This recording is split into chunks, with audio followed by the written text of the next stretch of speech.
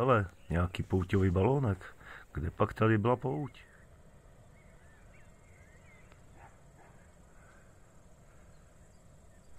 Tak tohle nejspíš nebude pouťový balonek. Nebož opravdový velký horkovzdušný bojový balón.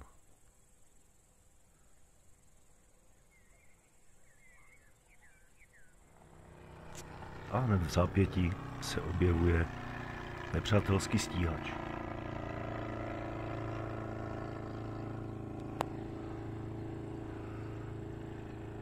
Tak kde pak je?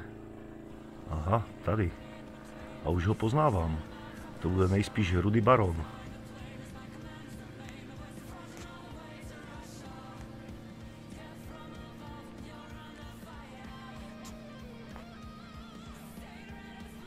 Horkovzdušný balon mezi tím snížil výšku.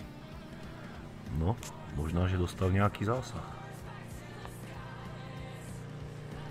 A Rudy Baron ten stále krouží kolem a sleduje, jaký bude výsledek jeho úspěšné palby.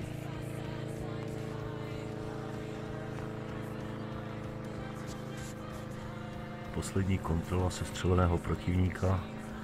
Ruby Baron těsně míjí měsíc, no a balon mezi tím vypadá, že už je na zemi.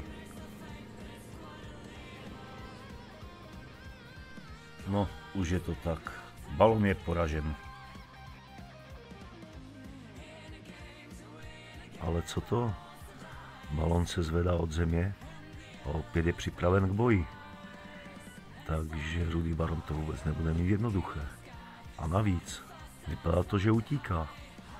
No jo.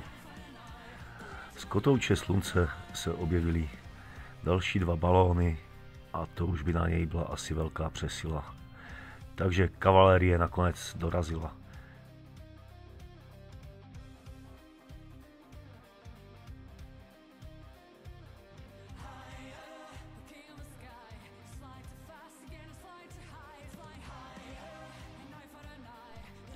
Ruby Baron zbaběle, anebo takticky uteklo. No a tři balony se dávají do nějaké formace.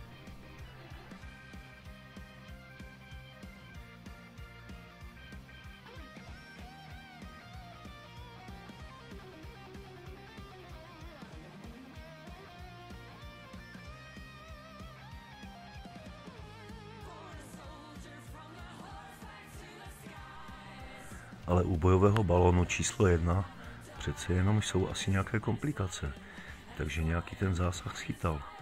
Nedaří se mu zařadit do formace a naopak opět začíná klesat. Tak už to nakonec vypadá, že Rudy Baron přece jen může udělat nový zařez na pažbě.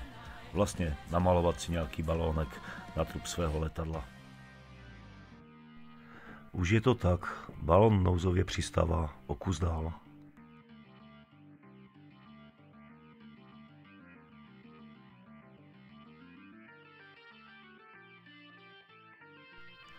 No a poslední dva balóny na nebi zůstávají ve střehu, aby uhlídali vzdušný prostor, aby nemohl balon být napaden po té, co nouzově přistál.